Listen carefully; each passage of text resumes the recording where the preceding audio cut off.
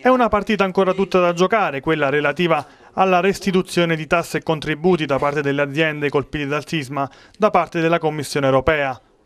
Un match che va giocato a Bruxelles e per il quale il Comune dell'Aquila si affida ai parlamentari europei, che all'Aquila hanno provato a rinfrancare istituzioni e associazioni di categoria. La questione preoccupa non poco il vicepresidente della regione Giovanni Lolli. Oggi, io voglio, a parte gli aspetti giuridico, formali, legali e perfino etici, che insomma non ci vorrei tornare, è una cosa veramente brutale e assurda, ma io parlo degli effetti pratici. Togliere oggi all'economia di questo territorio dai 50 ai 100 milioni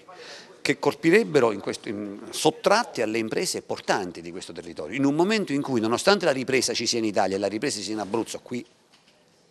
il combinato del terremoto non siamo ancora in grandissima difficoltà, una botta da, da 50, 60, 70 milioni di euro è una botta che può essere veramente mortale. Più rassicurante la posizione dell'eurodeputato David Sassoli, per il quale la misura europea riguarderebbe solo un pugno delle 115 aziende che hanno beneficiato degli sgravi fiscali, ovvero solo quelle il cui regime fiscale de minimis supera i 500.000 euro. E comunque, anche per quelle, non è detto che la strada della restituzione sia già segnata. Non stiamo parlando di persone fisiche,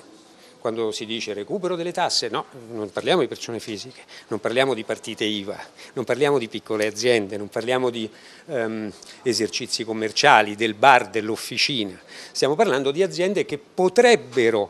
eh, distorcere il mercato. Queste aziende sono un pugno di aziende